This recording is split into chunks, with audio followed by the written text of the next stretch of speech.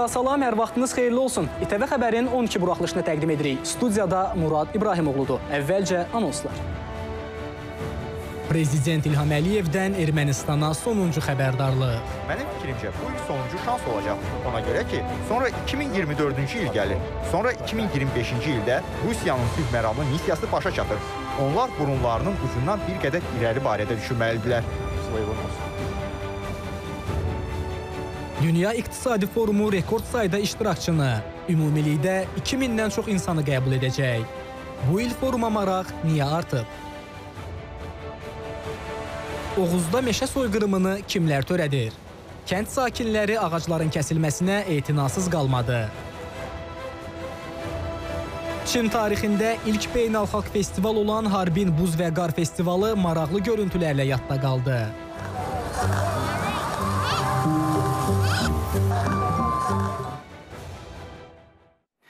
İndi isə daha ətraflı. Müharibədən sonra 2 il ərzində nə gördük? Ermənistan görməli olduğu işlərin heç birini görməyib. Bunu Prezident İlham Əliyev yerli televiziya kanallarına müsahibə zamanı bildirib.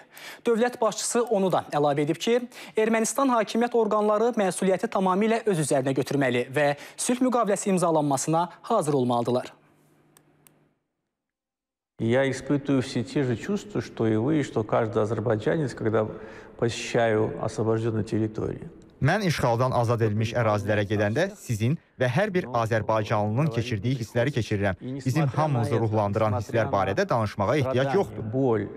Боль, несмотря на э, разрушение всего Buna того, baxmayaraq, что нам keçirdiyimiz было, izdırablara, мы говорим о ağrılara, bizə əziz olan hər şeyin dağıdılmasına baxmayaraq, Знаете, biz с sülh политической barədə danışırıq. зрения и с, э, Başa человеческой düşürsünüzmü? точки Bu зрения. həm siyasi baxımdan, həm də Но, insaniyyət понимая, baxımından asan deyil. что, э, это в Lakin интересах bunun Azərbaycana Azərbaycanın и uzun müddətli долгосрочных maraqlarına интересах uyğun Azərbaycana olduğunu мы başa это düşdüyümüz üçün biz bunu Но, təklif edirik. э, Это на столе будет какое-то время.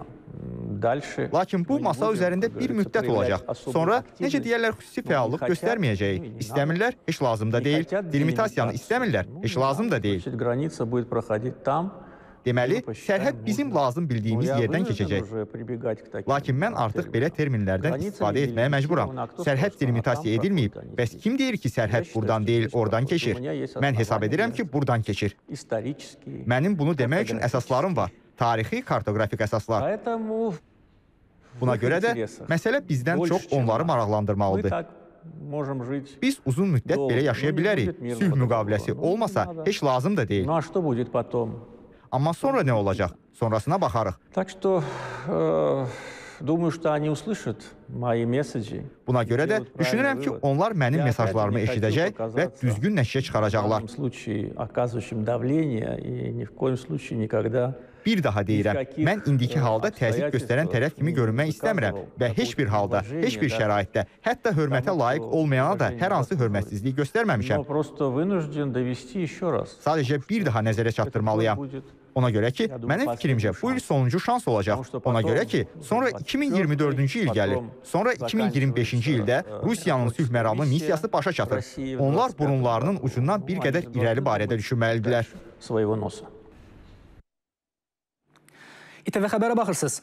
Qarlı şaxtalı hava şəraitinə baxmayaraq Xankəndi-Laçın yolunda keçirilən etiraz aksiyası artıq 31 gündür davam edir. Ekofəyallar hərəkətə mane olmadan Azərbaycan, Rus, İngilis dillərində yazılmış plakatlar qaldırır və müxtəlif şüarlar səsləndirirlər. Aksiya ilə bağlı ən son məlumatları almaq üçün hadisə yerində olan əməkdaşımız Şöhrət Eyvazova bağlanırıq. Salam Şöhrət, buyurun, söz sizdədir. Salam, hər vaxtınız xeyir. Bəli, dediyiniz kimi artıq aksiyaların başlanmasının bir ayı tamam olur. E, dekabrın 12-sindən bir qrup ek ekoloji fəalın başladığı aksiyada bugün gördüyünüz kimi əsasən gənclərimiz e, iştirak edirlər və, və bu gənclər burada bu havanın soyuq və şaxta olmasına baxmayaraq aksiyanın sivil qaydada keçirilməsini demək olar ki, təmin eləyirlər. Bildirmək istəyirəm ki, ötən gecə saatlarından gecə 12-dən indiyə qədər 30-dan çox Rus sülmanların müşayiəti ilə demək təminat maşınları keçib onların arasında yanacaq və digər təminatlar da olubdur. Və ümumiyyətlə bu bir daha göstərir ki, humanitar yüklər üçün e, e, keçid tam açıqdır və e, havanın şaxtalı olmasına baxmayaraq yenə vurğulayıram ki, burada mənfi 11 dərəcə bu dəqiqə şaxta var Şuşada, qar yağır gördüyünüz kimi, lakin aksiya öz qaydası ilə keçir və e, belə deyək, tamaşaçılarımız da, ictimaiyyət də narahat, buradakı gənclərdən də narahat olmasın. Çünki onların həm istiliklərinin, həm yeyəcəklərinin və digər təminatlarının da e, demək olar həllini tam ictimaiyyət üzərinə götürübdür və heç bir problem yoxdur. Təşəkkür edirik Şöhrət ətraflı məlumat üçün. Biz isə davam edirik. Yeri gəlmişkən, Amerika Birləşmiş Ştatlarının paytaxtı Vaşinqtonda ekofəyalların aksiyası keçirilib. Belə ki, Ağ Ev qarşısında toplaşan etirazçılar Prezident Joe Bidendən ekoloji vəziyyətə görə Alyaskada neft çıxarılmasını dayandırmağı tələb ediblər. When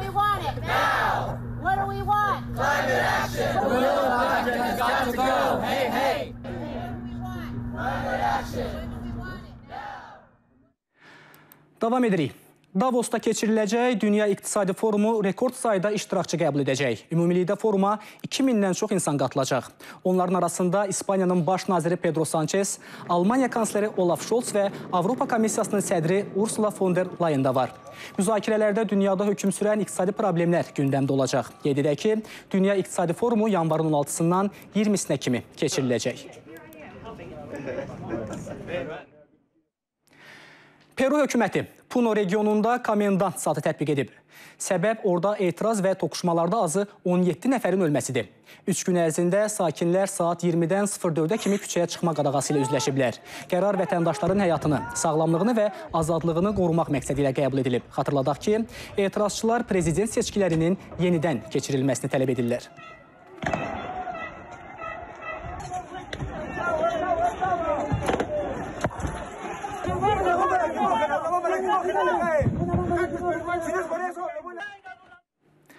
Fransada pensiya islahatının əsas istiqamətləri izah edilib. Belə ki, müəyyən edilmiş pensiya yaşı həddi hər il 3 ay ərzində mərhələli şəkildə 62-dən 64-ə keçəcək. Proses 2030-cu ilə qədər davam edəcək. Yeni islahat 1961-ci ilin sentyabrında və ya ondan sonra doğulmuş fransızlara şamil olunacaq. Qeyd edək ki, pensiya islahatlarının tətbiqinə sentyabrın 1-dən başlanılması gözlənilir.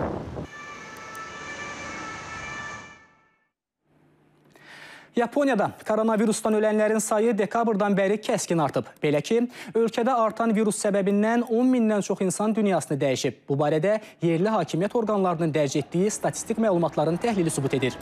Qeyd edək ki, hazırda ölkədə koronavirusla bağlı yerli sakinlər üçün heç bir məhdudiyyət yoxdur. Buna baxmayaraq, insanlara hər yerdə maska taxmaları, sosial məsafəni qorumaları və digər qabaqlayıcı tədbirlərə əməl etmələri tövsiyə olunur. Kaliforniyada çovğunlu hava davam edir. Belə ki, kəskin hava səbəbindən 197 mindən çox insan işıqsız qalıb. Hava şəraitinə görə ştatın qubernatoru sakinləri təcili yardım işçilərinin tövsiyələrinə əməl etməyə çağırıb. Bu arada Amerika Birləşmiş Ştatları prezidenti Joe Biden çovğunla əlaqədar Kaliforniya ştatında fövqəladə vəziyyət elan edib.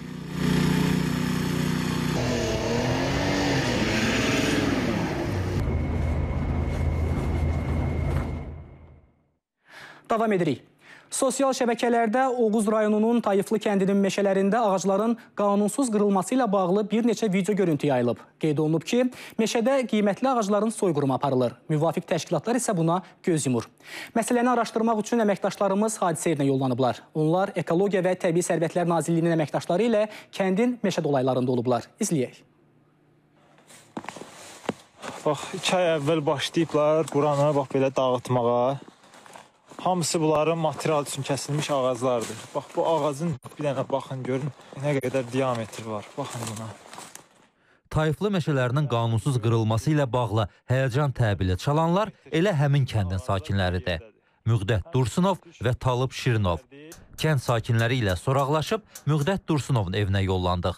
O evdə olmadığından Talıb Şirinovla görüşdük. Dediyinə görə ağacların qırılması tək onları yox, bütün kənd sakinlərini narahat edirdi. Bir mənim yox, kənd cəmaatının şikayətimiz meşədə olan o öz başına qırıntıdan idi. Onda müdirə çatdı bu xəbər, işin qarşısını aldı. Məsuliyyət siz gözətçini işdən azad elə. Hər şey öz qaydasındadır. Elə çəkiliş əsnasında 6 saylı Regional Ekologiya İdarəsinin və Qəbələ Regional Meşə Təsərrüfatı Birliyinin işçilərinin Tayflı kəndinə gəldiyini öyrəndik. Onlarla birlikdə yollandıq sözü gedən əraziyə. Söhbət zamanı idarənin işçiləri dedi ki, şahidlərdən biri olan Tapdıq Şirinov 2020-ci ilin iyun ayına kimi sözü gedən meşə dolayında gözətçi işləyib. Meşədə yol verdiyi qanunsuz qırıntıya görə də işdən çıxarılıb. 6 saylı Regional Ekologiya İdarəsinin rəisi Akif Məmmədovla meşəni gəzib, kəsilən ağacların nişan yerinə baxdıq. İdarə rəisi ərazidə qanunsuz qırıntı aparılmadığına, kəsilən ağacların bir il yarım bundan əvvəl işarələndiyini bildirdi. 4 gün bundan əvvəl və faktiki olaraq bu gün də araşdırmalar davam edir. Həmin ərazilər 2022-ci il üçün odun tədarükü üçün ayrılmış qırma sahələrdir, möhürlənmiş ağaclardır və həmin ağaclar kəsilərək oduncaq kimi məktəblərə, uşaq bağçalarına, hərbi hissələrə verilir, şəhid ailələrinə, qazi ailələrinə göndərilir, verilir. Pulları ödənilmə şərti ilə faktiki olaraq bu ərazilər qanunsuz qırma hallarına rast gəlinmədi. İşarələnən 40-a yaxın ağacın kəsilməsinə səbəb onların bioloji inkişafdan dayanması olub. Müşahidələrimiz də göstərir ki, kövrək qovaq ağacları öz yaşam müddətini bitirdiyindən onlar bu formada çürüyüb. Eyni zamanda e, alıcılar da buna o qədər də maraq göstərmir. Qeyd edək ki, gələcəkdə ərazilər kol-kosdan təmizlənərək yerində meşə tingləri salınacaq. Toğrul Məmmədov, Rasim İslamov, Bəxtiyar Atayev, İTV Xəbər, Oğuz. Və sonda Çində 39-cu Harbin Buz və Qar Festivalına start verilib. Tədbir həm də Çin tarixində ilk beynəlxalq festival olması ilə fərqlənir. Bura dünyanın bir çox ölkələrindən turistlər gəlir. Məhz müxtəlif rənglərlə işıqlandırılan buzdan hazırlanmış heykəllər insanların diqqətini cəlb edir.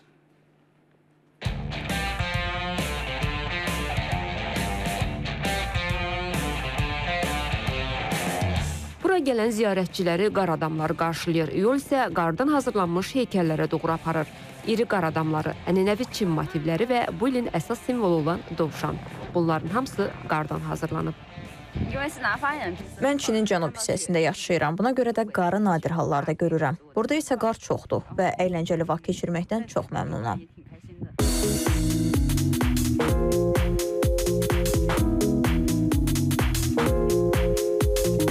Harbin Buz və Qar Festivalı ziyarətçiləri üçün ancaq əyləncələr yox, həm də yarışlar təşkil edir.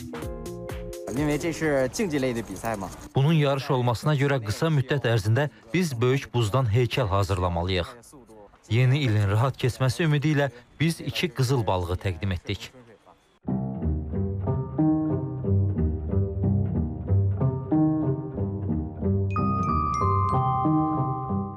Bu arada hava yavaş-yavaş qaralmağa başlayır. Qaranlıq çöktükcə festival fərqli görünməyə başlayır. Buzdan hazırlanmış heykəllər parlaq rənglərlə işıqlandırılır.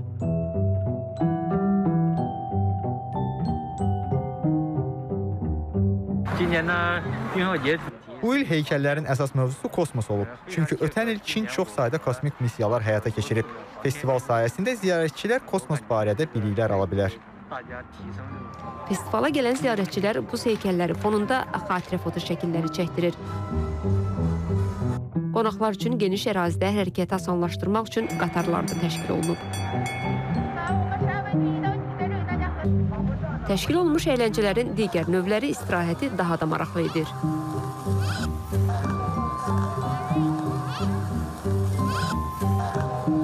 Çində ilə əsrarəngiz mənzərə və rənglərlə başlamaqla bundan sonraki həyatlarında onları yalnız və yalnız yaxşı günlərin gözlədiyinə inan böyükdür. Mariya Eyvazova, Şəlalə Şəfiyeva, İTV Xəbər. Belə dəyərli izləyicilər, İTV Xəbərdən bu saata bu qədər. Efirimizi isə həmkarım Fəridə Abdullanın təqdimatında İTV İdman davam etdirəcək. Fəridə, hər vaxtınız xeyir. Hər vaxtınız xeyir olsun Murad. Buyurun, söz sizdədir. Təşəkkürlər.